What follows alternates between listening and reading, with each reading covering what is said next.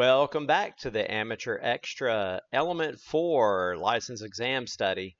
We're on sub-element 4 Bravo now, so some more of that deep stuff. Which of the following factors most affects the accuracy of a frequency counter? That is going to be your time base accuracy. If you want to measure how many waveforms happen in a certain amount of time, you want that time to be exact. You don't want it to be too long or too short, or you're going to get a skewed result. What is the significance of voltmeter sensitivity expressed in ohms per volt? That is the full scale reading of the voltmeter multiplied by its ohms per volt rating. That is the input impedance of the voltmeter. So out of these choices, that's the only right answer. The full scale reading of the voltmeter multiplied by its ohms per volt rating is the input impedance of the voltmeter. Now you can see up here I have, have a site pulled up. Analog meters take a little power from the circuit under the test to operate their pointer. And they, they are supposed to have a high sensitivity and if they don't, then it's going to apply a large load to what you're testing.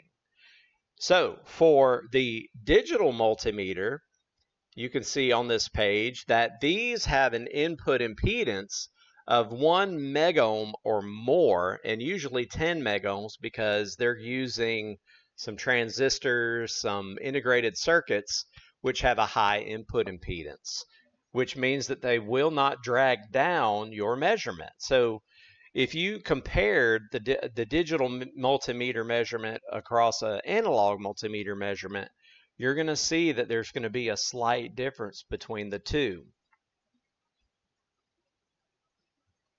Which S parameter is equivalent to forward gain? Okay, so we're talking about S parameters on a network a vector network analyzer such as this one. And you can see that port 1 is S11, port 2 on this one is S21. So going back, the S parameter that is equivalent to forward gain is S21, which is input 2 down here. That is the forward gain. Port 1, S11, is going to be your reverse gain.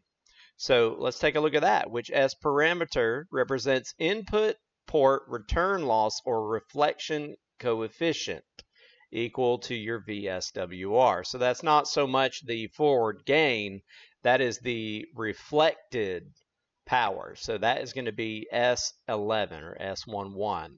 And if you go back and look again, port 1 is for the reflected. Port 2 is for what passes through, and that can show you your loss. Alrighty, so we're moving on down pretty quickly. What three test loads are used to calibrate an RF vector network analyzer? That's going to be a short circuit, an open circuit, and 50 ohms. And for the Nano VNA, there's actually one more test, and that's the throughput test. So if you've ever messed with one of these, you can see down just below it, you see the silver one? That is probably the open. The next one to the right looks like it has a pin on it. That's a short. And the one next to that is a little bit bigger. That is most likely the 50 ohm load that you would use to calibrate your Nano VNA or your network uh, vector network analyzer. And you would use one of these test leads to do your feed through um, when you calibrate your, your Nano VNA. How much power is being absorbed by the load when a directional power meter connected between a transmitter and a terminating load reads 100 watts forward power and 25 watts reflected. Well, your answer is 75 watts. And if you want to memorize that, by all means, memorize that because it's the only one that I've seen so far. But to give you a visual of how this one works, from your transmitter, you have 100 watts going forward And in the middle, your directional watt meter says 100 watts.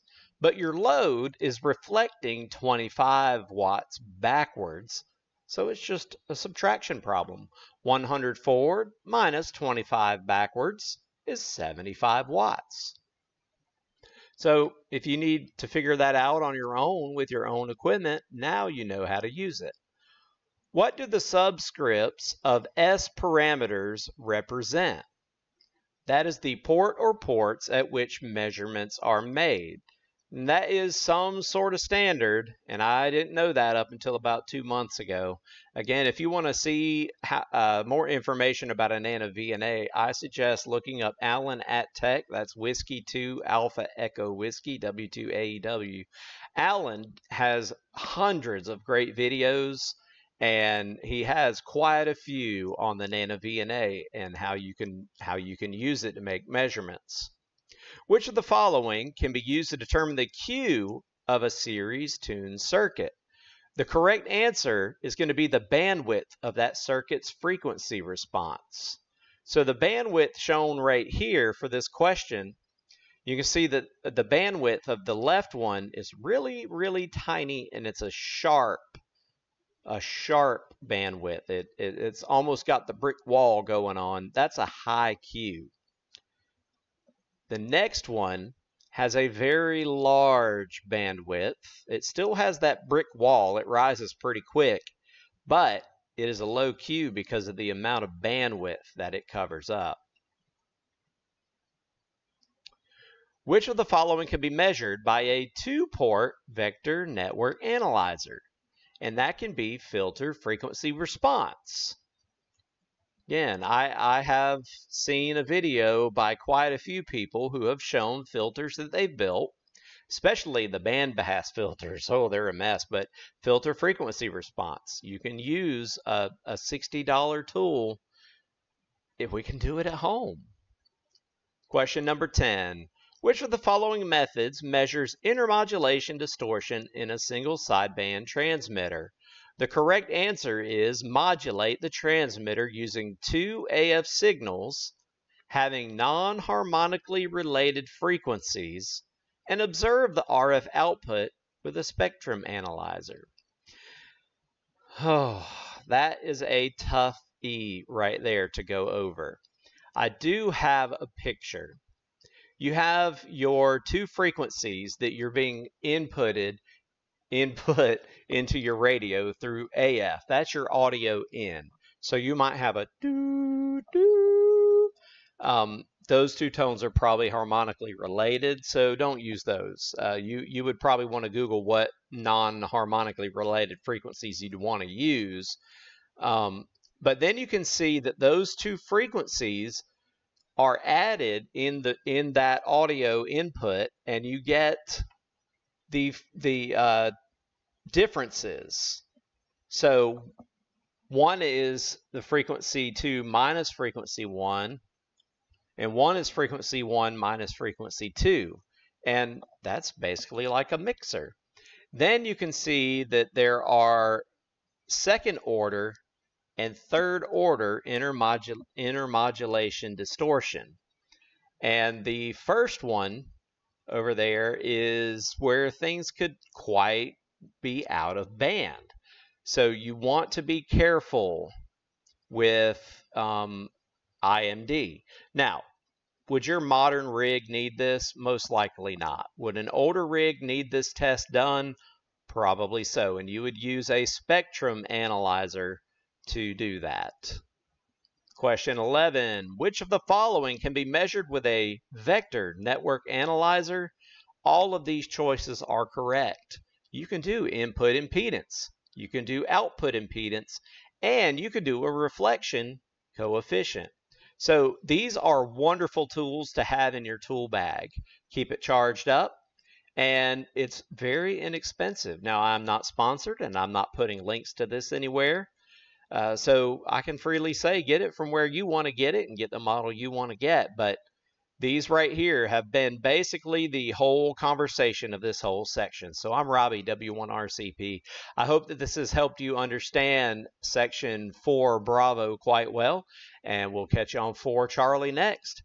Like and subscribe. Rob, W1RCP 73.